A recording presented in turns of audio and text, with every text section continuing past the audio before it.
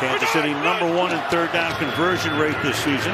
Mahomes with a deep drop fires over the middle, broken up at the 48 yard line by Tre Norwood, the rookie out of Oklahoma.